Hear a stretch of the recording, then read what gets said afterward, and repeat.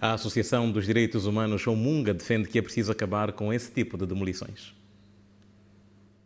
Segundo José Patrocínio, a situação dos moradores do Morro da Graça junta-se a muitas outras áreas onde os populares viram as suas residências deitadas abaixo, sem que até o momento lhes tenha sido dada qualquer tipo de explicação. A demolição forçada só tem razão de ser caso se esgotem todas os outros, as outras possibilidades. Ou seja, se não houve possibilidade de negociação, se não houve alternativas, se houve uh, respostas violentas por parte dos cidadãos. Não me parece que tenha acontecido durante este processo nada disso. Ou seja, mesmo que tenha havido um aviso a dar-se um prazo para a saída das pessoas, não houve em si um processo de negociação. O que o Tratado de Direitos Humanos obriga, obriga os Estados a negociar com as pessoas as possibilidades da sua movimentação caso haja interesse público em relação aos próprios terrenos. O caso da Damba Maria é um caso também que está-se a arrastar em que a população não tem qualquer informação sobre o que vai ser a Damba Maria. Se está na reserva fundiária, o que é que vai ser ou não vai ser. O caso dos moradores aqui da Cabaia é a mesma questão. Os moradores da feira é a mesma questão. Quer dizer,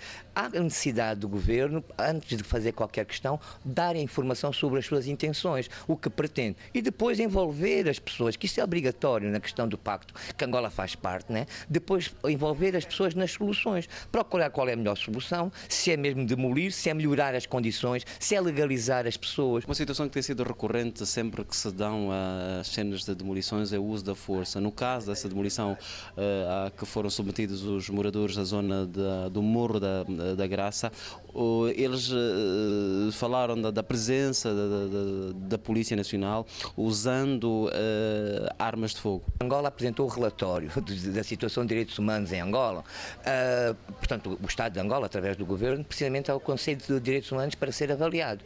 E há três ou quatro parágrafos que diz respeito ao direito à habitação condigna, em que eles falam sobre isso. Por um lado, dizem que muitas vezes estes casos é por questões de anarquia da população em que o governo recorre a medidas disciplinares. Isto é pouco esclarecedor. Portanto, que tipo de anarquia, que tipo de medidas disciplinares. E, por outro lado, também garantem no seu relatório que tomam medidas em relação às pessoas que intervém através do abuso da força, que também isso contraria um pouco esta informação. Por um lado, o relatório salienta que o governo de Angola está a tomar medidas em relação às pessoas que são acusadas de uso abusivo da força durante estes atos de demolição, mas por outro lado continuamos a ter informações de insistência do uso da força nestas, nestas questões. José Patrocínio, coordenador da Associação de Direitos Humanos Omunga, que em um mundo quer dizer solidariedade. Frisar dos Santos, João Cláudio Mutendo e Cúcia Eugênio.